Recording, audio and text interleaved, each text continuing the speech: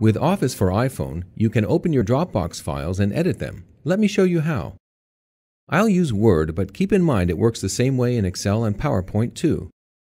First I tap Open, then I tap Add a Place. I tap Dropbox and then I log in. I'll make sure to use the email address and password that I've been using for Dropbox.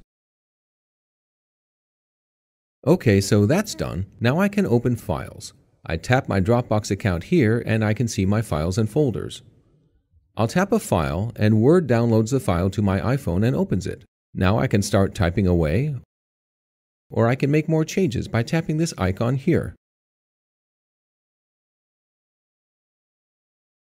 By default, Office for iPhone uses autosave, so as long as I'm connected to the internet, my changes will get saved up to Dropbox for me. For more on Office for iPhone, visit aka.ms slash Office iPhone videos.